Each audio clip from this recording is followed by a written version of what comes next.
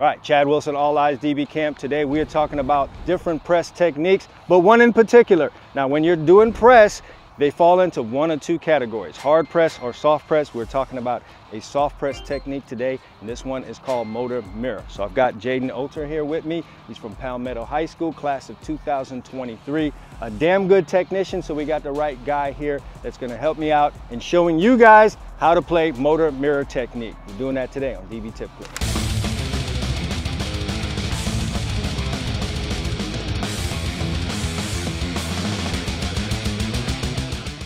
Okay, so there's obviously a difference between soft and hard press. When we're in hard press, we're trying to get close to the line of scrimmage, and the idea is to get our hands on the wide receiver right away, as you see me demonstrating. Receiver comes right off into you, get your hands on him, two-hand jam. If he exits left or right, you get an offhand jam with him. When we're playing soft press technique, and in particular motor mirror technique, that's going to be a little different. And for that reason, we have to align a little bit differently. So the first part is getting our alignment right.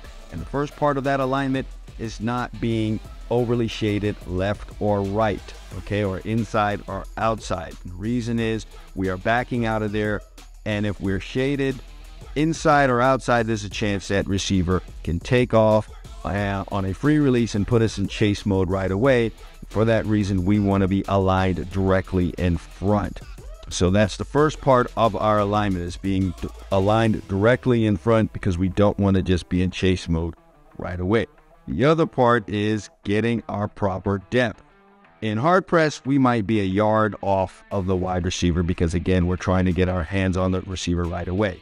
We do that in motor mirror technique. The guy's first step could end up putting him right even with us. And as I just showed you, you're going to be in chase mode. You don't want that first step eating up your cushion and putting him even with you. So now when you're turning out, you're going to end up underneath the wide receiver and like I said, in chase mode. So we want to be head up and we want to be two yards off. That's what it is in your alignment.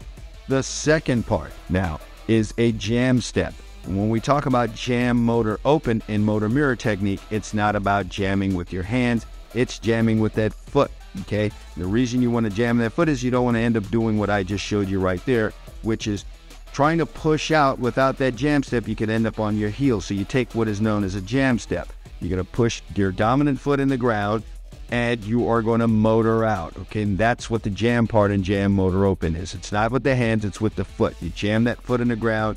It is a false step. It goes against a lot of what you've been told as a defensive back when you're backpedaling is not to take the false step and give up that extra step to the wide receiver and allow him to close your cushion, but you're now playing closer to the wide receiver in a press technique. So you take that jam step, get that foot in the ground, and motor out. That's the second part, is taking the jam step. Now, the third part, after you've taken the jam step, you're going to need to motor out. Very important that you do this correctly, and that is by being on the balls of your feet as I'm demonstrating right now.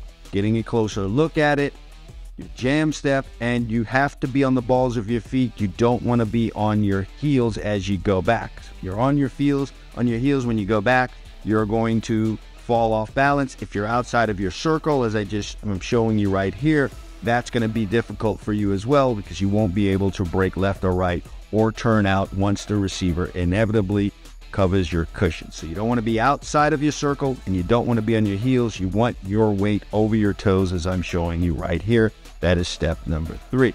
So, showing you again, balls of your feet. And another reason you want to be on the balls of your feet is when that receiver closes your cushion. If he's close enough for you to jam, you definitely want to be on the balls of your feet and have your feet inside of your circle. You don't want them too wide because exiting after that jam is going to be a problem. So now on to step number four, which is off that motor step. Once the receiver exit left or right, you're going to want to be able to take what is known as a kick step, which if you're familiar with hard press, there's a kick step involved. There are not going to be as many kick steps when you're using motor technique, but it is a necessary step in this. See how the receiver is exiting and I take a kick step with him. I want to make that kick step to push him off of his line that he wants to work on, push him closer to my help if he's going inside, push him a little closer to the sidelines if he's going outside. But along with that kick step, which is step number four, I need to add step number five, which is After the kick step, I want to plant and get into a crossover run and get over the top as you see me doing there. Took the kick step. Once the receiver has declared that he's going in there, I want to plant and get vertical and not get trapped behind him, not get sucked too far inside or outside to where I get stacked. The whole essence is being over the top. So now Jaden is going to show you this. He's going to put all the steps together for you, and you're going to get a good idea of what it looks like. This is a technique that he's pretty good at, so we're going to get a look at it right here. I'm playing the receiver, he's the DB. Here I am coming off jam step, motor, kick slide, and then he gets over the top.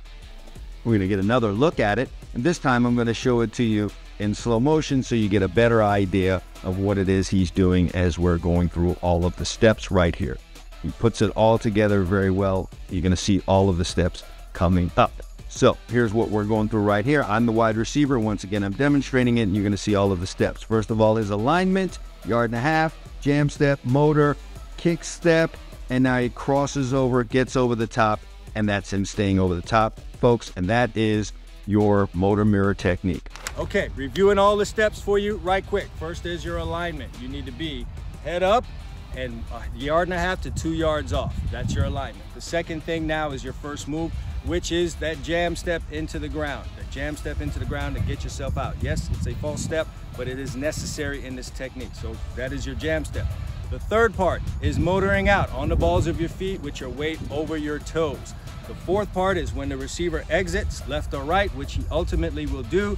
You take a kick step with him just to widen him a little bit. And then the final part is once he gets vertical up the field, you're gonna plant, crossover run, and get vertical as well. Those are the steps to motor mirror technique. If you like this video, and I hope that you did, go ahead and like the video, share the video, and of course, if you're not a subscriber already, come on, come on already. Come on, go ahead and subscribe to the channel.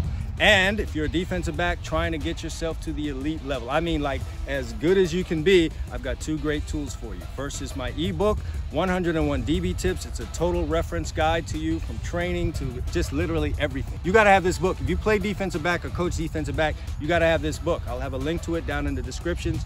It's 101 DB tips. The other part is my members area, which I've been telling you about for a while. We're cranking out elite DBs and coaches left and right. Over 200 videos pertaining to everything. Uh, drills, technique, coverage breakdown, everything that you need to be the best DB that you could be. Also, we'll have a link to that down in the description. All right, once again, thanks for joining me here. And as always, all eyes DB camp, consistency breeds results. You know what to do, bro.